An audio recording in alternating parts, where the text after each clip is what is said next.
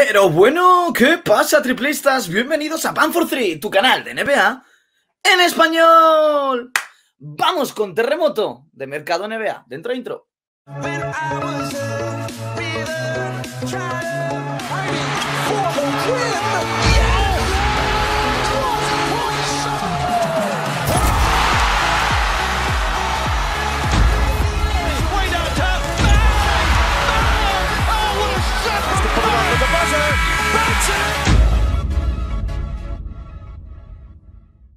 ¿Cómo va esa muñeca triplistas calentando motores para un nuevo vídeo de Van for 3?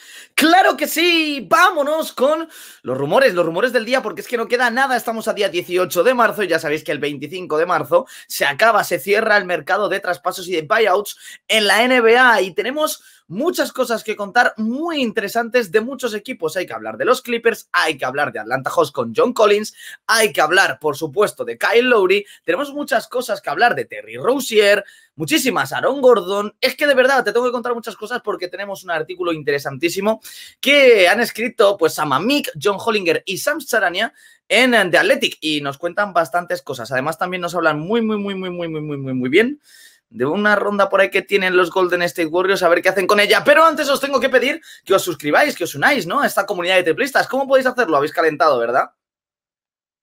Pues metiendo un triple por ahí abajo en el botón suscribirse y además un buen like que me viene muy bien, oye, me viene muy bien para seguir creciendo, ya sabéis, ¿eh? En redes sociales crecemos gracias a vosotros siempre, arroba Adri la Fiebre en Instagram y arroba Ban43 en Twitter. Como siempre digo, comenzamos ¡Comenzamos! ¡Claro que sí! ¡Claro que sí! Vámonos ya con el vídeo, con la información. Lo primero, ya lo sabéis que las Harden Step Back, ¿eh? Bolt, tremendas. Fíjate, salen blancas y todo con el foco porque es que son fosforitas, son tremendas. Las tendréis en Mad Basket. Os dejo un enlace por ahí abajo en la descripción para que al menos pinchéis y veáis, ¿no? También las hay en negro, que son también una barbaridad. Por cierto, James Harden, así, ¿sabes? De primeras, pues quizás sea el, el mejor jugador de la noche, ¿no? En la jornada de la NBA con 40 puntos y triple doble en la victoria de Brooklyn Nets sobre Indiana Pacers. Y es que además, bueno, por otro lado, Giannis Antetokounmpo también partidazo, sobre todo en la prórroga, ¿no? Segunda parte y prórroga contra los Sixers. Unos Sixers que sin Joel Embiid, además con lesionado Seth Curry durante el propio partido, muy bien, ¿no? O sea, muy bien, están compitiendo muy bien, cuidado con uh, Philadelphia 76ers. Por cierto, hablando de Milwaukee Bucks, ¿qué refuerzo? Es oficial, oficial el traspaso, ¿eh? Sí, sí, sí, se ha hecho una realidad de PJ Tucker a Milwaukee Bucks, ¿eh? Tremendo refuerzo el que se lleva Zeus ante Tocumpo y compañía con PJ Tucker a la hora de defender de los triples en la esquina. Un tremendo refuerzo, un tremendo fichaje para Milwaukee Bucks para intentar un año más, una vez más, el asalto a al campeonato, por lo menos a las finales de la NBA. Vamos a ver, ¿no? Porque al final, bueno, el traspaso fue eh, Tucker Kurux y una primera ronda por una primera ronda DJ Agustín. Al final, básicamente es por DJ Agustín un cambio, pues que le viene bien, ¿no? Un cambio de veteranos, un cambio en el puesto de base por un puesto de alero. Yo creo que sale ganando aquí, sale ganando, por supuesto, Milwaukee Bucks, que tienen a Vidi Vincenzo y tienen suficientes jugadores en ese puesto de base con Hulk Holiday, etcétera, y que, bueno, pues que les hacía falta un 3 más D pues como el comer, sinceramente. Por lo tanto, muy bien esta oficialización por parte de Adrian Wojnarowski que nos contaba el traspaso anoche de PJ Tucker a Milwaukee Bucks. Nos vamos, nos vamos con las noticias, nos vamos con ese mercado, nos vamos con el terremoto, vámonos con The Athletic, que empieza haciendo un artículo de unos cuantos puntos. Yo me he quedado solo con los cuatro primeros, ¿vale? Pero son muchos más. Poco a poco iremos desgranando si salen más noticias, con los eh, puntos más interesantes o los jugadores o los, el mercado más interesante en estos próximos días, ¿no? Eh, cuidado, porque el punto número uno es mi pequeño gran amigo, Kyle Lowry. Vamos con la iPhone. Por un lado, tiene sentido su traspaso. Los Raptors están teniendo un mal año y si quieren sacar algo de beneficio en este mercado, es con Lowry, de 35 años y en su contrato expiring. Por otro lado, es quizás el mejor jugador de la historia de Toronto. Quizás tenga una estatua y es complicada la situación moral.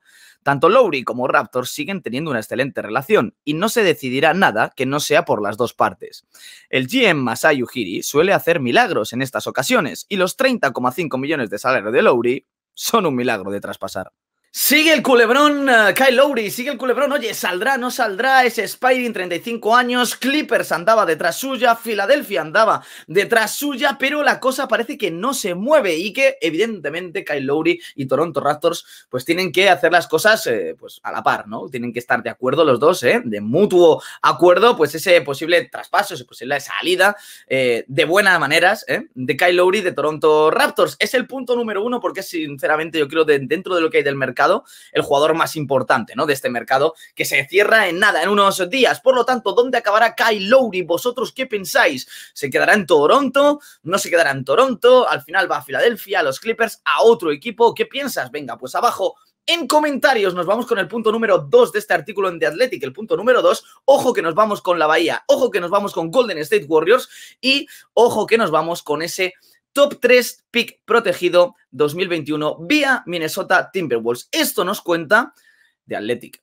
Con los Golden State Warriors en ese punto donde son muy buenos para un buen pick en la lotería, pero no tan buenos como para ser una amenaza real en los playoffs, el pick protegido cobra mucha importancia para un traspaso por un jugador de impacto real por múltiples temporadas en su contrato. Bueno, pues aquí lo que nos está diciendo básicamente Sam Amick, John Hollinger, Sam Sarania, que firman los tres este artículo, es que pues cobra mucho, mucha importancia este pick, es un pick protegido, os lo explico, eh, el próximo año, en el próximo draft, los Warriors tienen su propio pick en el que queden en la lotería y el pick de Minnesota Timberwolves, que ya sabéis que está pues ahí abajo, abajo, abajo, abajo, ¿eh?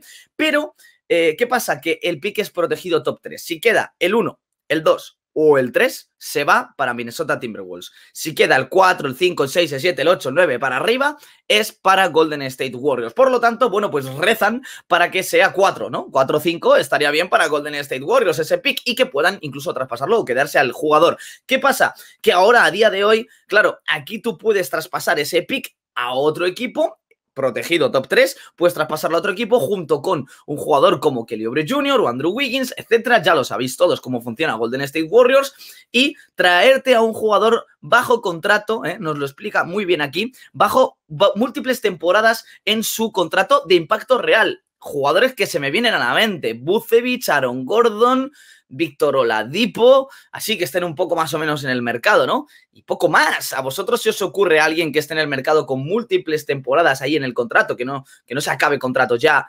No sé, tengo dudas, ¿no? No, no se me ocurre muchos más. Así que la cosa está difícil. Yo no sé si movería fichas si fuera Golden State Warriors. Como yo os traje en un vídeo hace poco, eh, esperaría, ¿no? Un poquito de paciencia, el momento adecuado para conseguir la pieza adecuada, una o dos piezas, ¿no? Decía, decían en el artículo de la entrevista de Stephen Curry. Bueno, pues una o dos piezas adecuadas que den el salto para volver a competir por el anillo. Por lo tanto, no sé si ahora traspasaría o no. Vamos a ver si en estos próximos días sale una buena opción para Golden State Warriors. Nos vamos por el punto número 3. Punto número 3 es un punto un poco complicado. Es John Collins, es de Atlanta Hawks y nos cuentan esto. La situación de John Collins es complicada porque es agente libre restringido este verano. Todo equipo que vaya a por él sabrá que recibirá ofertas muy pronto y tendrá que igualarlas. Además, Atlanta no tiene mucha capacidad para reemplazarle en la agencia libre, por lo que en Atlanta Hawks hay dudas de mantenerlo o no. John Collins, un jugador, bueno, un jugador tremendo, ¿no? Es un jugador que para mí, para mí, infravalorado. Para mí necesita un sitio, un espacio donde se le den más bolas, donde tenga más protagonismo.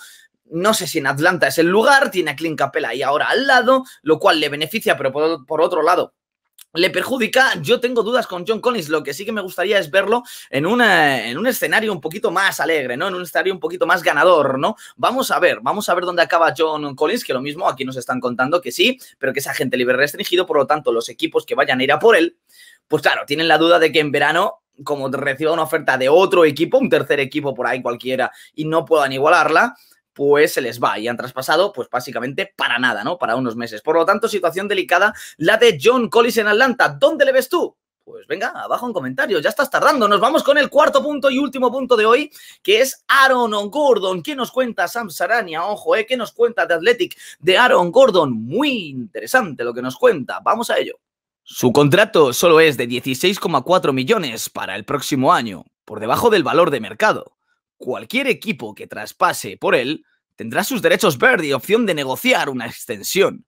Con Bucevic y con Jonathan Isaac, Gordon podría ser pieza de intercambio para Orlando Magic. Por un joven promesa y una primera ronda de draft, el traspaso será un hecho. ¡Pum! Eh, ojito, eh, ojito, eh. Un joven promesa, una pieza interesante, joven y una primera ronda de draft podría estar pidiendo Orlando Magic por Aaron Gordon. Eso podría, eso podría acercarle quizás, quizás a Golden State Warriors, como hemos hablado antes. ¿O qué otro equipo se os ocurre? una pieza joven y una pieza joven y una, primera ronda de draft. Vamos a ver, Golden State Warriors puede dar perfectamente a Eric Pascal, incluso dos piezas jóvenes eh, de banquillo y, y, esa primera ronda de draft suya o la Por Aaron Gordon y estaría interesante ver a Aaron Gordon en Golden State Warriors. Yo así, ¿no? Suelto cosas, ideas a partir de lo que acabamos de leer de esta información. A partir de ahí vosotros también tenéis que darle vueltas y comentar porque me gustaría en este vídeo más que nunca pues saber un poquito a qué te puede, se pueden referir, ¿no? Estos, estos periodistas con Aaron Gordon, etcétera, John Collins y tal. Hay que descifrar cositas, ¿eh? Y ojo, hay que descifrar cositas porque nos vamos directamente a otro artículo, a otra cosa, a otra información. Nos vamos a la ESPN, nos vamos a Chris Que nos habla de una cosa que yo ya os dije hace un par de vídeos. Os dije, oye, cuidado, a ver si lo de Luria Clippers va a ser que no, a ver si van a rebajar un poquito costes, a ver si van a buscar un base y a ver si va a ser Ricky Rubio. Bueno, pues me da la razón. Los Ángeles Clippers están buscando un base y tienen los siguientes nombres encima de la mesa. Ricky Rubio, Terry Rozier y George Hill.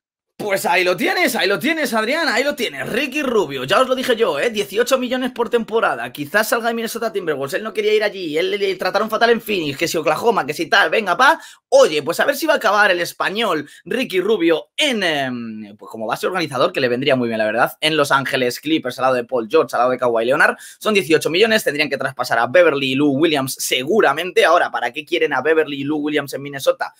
Pues no lo sé. La verdad, no lo sé. No sé. Yo me quedaba con Ricky Rubio, pero oye, no sé, ¿eh? Lilo Williams, a lo mejor Marcus Smart, o sea, perdón, Marcus Smart, Marcus Morris. No sé, así estaría la situación. Tienen piezas que intercambiar en Clippers. Tienen esos dos bases, ese Beverly y ese, y ese Lou Williams en Spiring de 8 millones. Y luego tienen ahí a Marcus Morris. Son las tres piezas quizás que puedan mover. Vamos a ver Ricky Rubio, vamos a ver Terry Rozier. ¿Qué contrato tiene Terry Rozier? Vaya, mismo estilo de contrato que el que tiene Ricky Rubio, 17,9 millones para la próxima temporada. Pues eso, 18. Por ahí rondan un poquito los tiros y luego el tema de George Hill, pero el tema de George Hill es diferente porque George Hill parece que va a ser cortado, ¿no? O parece que va a ser traspasado, pero por muy poco, como ha sido Trevor Ariza en Oklahoma City Thunder. Por lo tanto, sería la opción más económica, más barata para Los Ángeles Clippers. ¿Qué te parece todo esto a ti? Pues ya sabes, venga abajo en comentarios. Dicho esto, yo me despido, os dejo con la intro y que sé que os gusta y nos vemos mañana en un nuevo vídeo. Hasta luego, triplistas.